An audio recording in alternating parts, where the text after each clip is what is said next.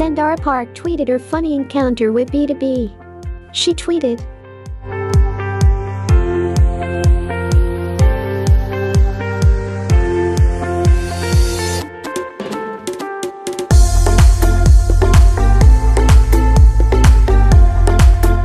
Dara replied to a fan that it was Peniel who got off the car.